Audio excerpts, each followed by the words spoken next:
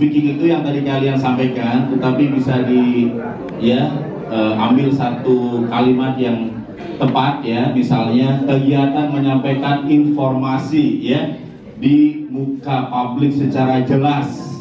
Jadi jelas, kemudian ya beralasan ya, jadi ada alasan yang jelas ya, kemudian belakang kelihatan nggak? Oh ada ya hebat ya. Tepuk tangan dong STKUP, keren ya. ya. Kemudian selain alasan juga dengan artikulasi, ingat ya. Selain ada alasan artikulasi. Jadi kalau ada orang tiba-tiba di depan motor lewat jalan raya ngomong itu bukan public speaking, betul ya? Kan depan orang belum tentu ya. Ingat tadi rumusnya ya. Apa tadi? Ya, di depan jelas ada apa? Alasan. Ya, ada alasan, kemudian artikulasi yang baik dan tersampaikan secara efektif. Efektif artinya ya tepat ya. Kalian dikasih waktu misalkan hanya setengah jam ya efektif setengah jam. Kadang-kadang menyalakan waktu. Kenapa waktunya singkat betul? Materi saya hanya dua jam ya. Ya teman-teman yang great. Jadi ini adalah uh, public speaking. Jadi rumusnya kita next lagi. Kita ambil kuncinya adalah jelas ya. Apa tadi? Passwordnya atau keywordnya apa? Jelas. Apalagi beralasan. Apalagi kemudian apa? Secara efektif.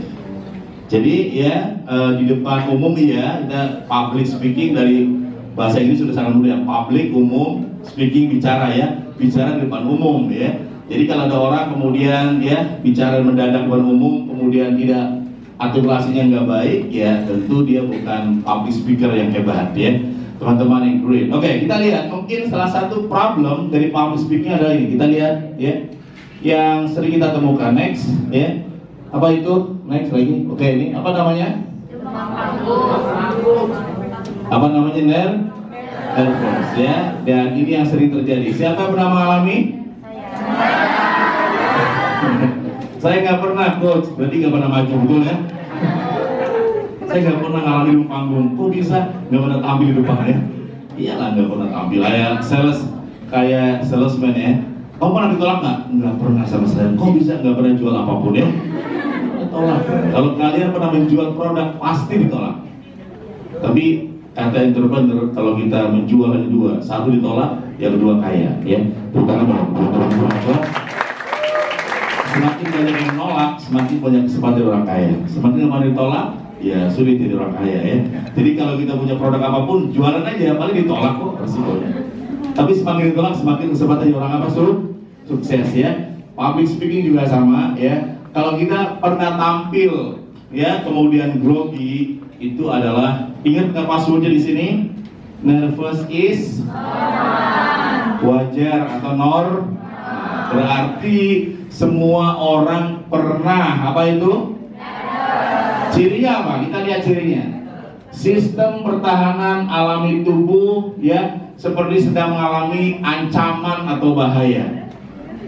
Jadi kayak terancam. Respon tubuh itu kayak terancam ya mendadak bisa gemetar betul ya? Betul ya? Ya ngalami masih ya ya. Kayak terancam kayak ada orang nyorot kayak ada orang haters yang nggak suka sama gitu ya. Padahal nggak ada juga. Tapi seperti sedang terancam dalam keadaan yang sedang bahaya gitu padahal nggak ada sebenarnya. Ya kemudian yang kedua adalah ya ini yang kemudian produksi juga menurun ya. Dan yang terakhir adalah kemampuan berpikir berkurang cirinya apa? Kalau kita grogi biasanya apa yang kita baca yang kita susut semuanya hil alami nggak? Mau jadi MC di depannya adalah seseorang yang pernah kita sayang gitu ya wah itu luar biasa berat ya. Mulai dari harusnya bilang selamat malam bapak-bapak. Menjadi selamat malam bapak dua ya. Karena grogi kan selamat malam bapak dua dan ibu dua kan karena grogi kemudian yang tadi sudah dibaca bacanya kayak ini koma eh, selamat malam koma semuanya titik ya kan grogi